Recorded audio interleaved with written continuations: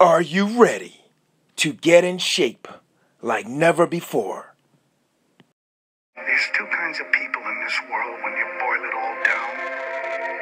You got your talkers and you got your doers. Most people are just talkers. All they got is talk. But when all is said and done, it's the doers who Nice. change this world. And when Keep they do going, that, come on. they change Keep going. us. So talk about it or do you stand up and do something about it? Because believe you me, all the rest of it is just coffee house bullshit. You that want to know what we're all about.